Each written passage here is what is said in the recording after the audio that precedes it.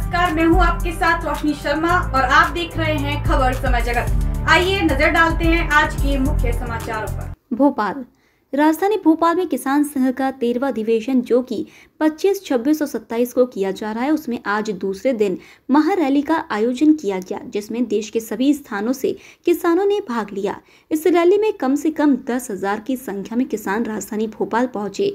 राजधानी भोपाल के Lal parade ground से रैली प्रारंभ की गई। एक बड़ी विशाल रैली के रूप में किसानों ने अपना प्रदर्शन दिखाया। इस मौके पर क्षेत्रीय संगठन मंत्री महेश चौधरी ने बताया कि यह अधिवेशन तीन दिन का है। यह अधिवेशन हर तीन साल में एक बार होता है।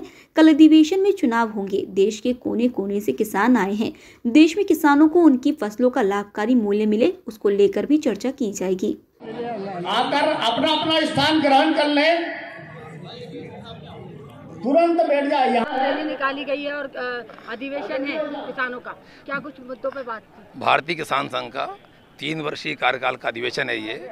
कल हमारे देश भर की नई कार्यकारिणी चुनाव होने वाले हैं और हमने प्रस्ताव पास किए हैं, देश में किसानों को लाभकारी मूल्य मिले, उसको लेकर और पर्यावरण को लेकर प्रस्ताव पास किए हैं हमें यहाँ सरकार को देने वाले हैं।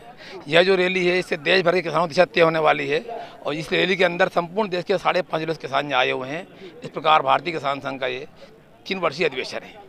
किन मुद्दों पे जैसे जो अधिवेशन चुनाव होंगे वो किन मुद्दों को लेकर नहीं चुनाव तो हमारी जो परंपरा है कि तीन वर्ष में एक बार भारतीय किसान संघ के चुनाव होते हैं नई कार्यकारिणी बनती है इस तरह की रीति नीति है सिद्ध होने वाला है किसानों को किन मुद्दों को लेकर बात किसानों को लाभकारी मूल्य को लेकर बातचीत की गई है किसानों को जैविक कृषि को लेकर बातचीत की गई है किसान स्वावलंबी बने किसान सुखी हो इस मुद्दे पर चर्चा अधिवेशन के अंदर हुई है। दिल्ली में जो किसान बैठा था क्या उन मुद्दों पे भी बात की बिल्कुल जो किसान दिल्ली में बैठा था उसमें जो मुद्दे ठीक प्रकार थे कानून के अंदर उनको फॉलो करते हुए उनको लागू करते हुए सरकार ठीक प्रकार किसानों के हित में बात करे किसान लाभकारी मूल्य पहुँचाए किसानों को। दिल्ली में जो किसान बैठे थे उनकी मृत्यु हुई है? क्या उनके लिए भी कुछ लाभ दिल्ली में किसान बैठे हुए थे हमारे संगठन उनके साथ है और सरकार द्वारा उनको कुछ ना कुछ मिलना चाहिए राहत मिलना चाहिए उनको भोपाल से खबर समय जगत के लिए शक्ति भारती की रिपोर्ट।